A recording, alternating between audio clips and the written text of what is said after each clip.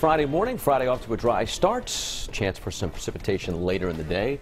What form will it be in, Michelle? We're thinking mostly light rain for our area. The track has shifted a little bit further north, keeping most of the snow up into Massachusetts. Right, and even at good. that, it's minor. Okay. Let's take a look at the conditions outside right now. From our temperatures, we're in the upper 20s in Providence and New Bedford, 31 in Newport, and about 25 degrees right now in Smithfield. It's a chilly start to the day. Mostly clear skies. Boston at 31.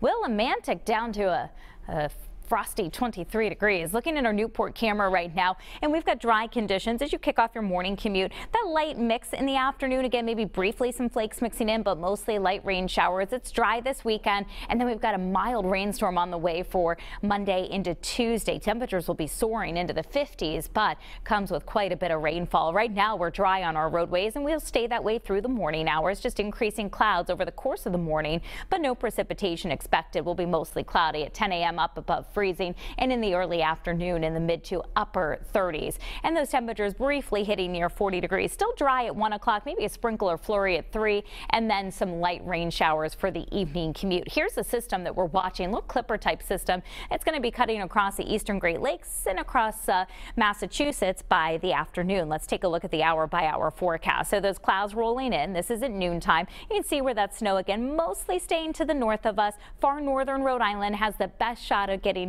some light snow mixing in. This is 3 o'clock in the afternoon. And then for the evening commute, scattered rain showers expected. Those move out pretty quickly and the skies are already clearing later in the evening. Any accumulations with this system to the north of us going to be light, most spots ending up with a coating to an inch or two of snowfall. Locally, though, we're looking at uh, far northern Rhode Island again, perhaps getting a little coating. We're thinking well north of Providence for that. So as the night goes on, the sky's clearing out. Any rain showers coming to an end, dry and mostly cloudy at midnight, still above freezing. By 5 o'clock in the morning, though, we are looking at some um, uh, temperatures below freezing. Let's jump ahead because the weekend is dry for us, but we're tracking some rainfall early next week. This is 6:30 on Monday morning. Clouds and rain gathering and moving in through the morning hours. The afternoon just looks like a soaking rainfall, gusty winds as well, and mild temperatures that'll continue all into the night. And then tomorrow, uh, Tuesday rather, we're still going to be seeing that rain throughout the daytime on Tuesday. This is Tuesday evening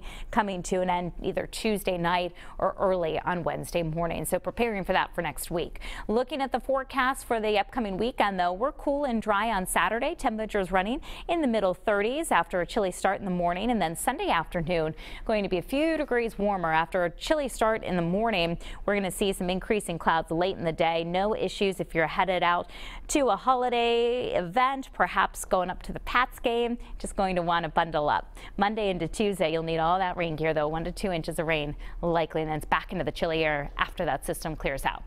You can get the updated forecast.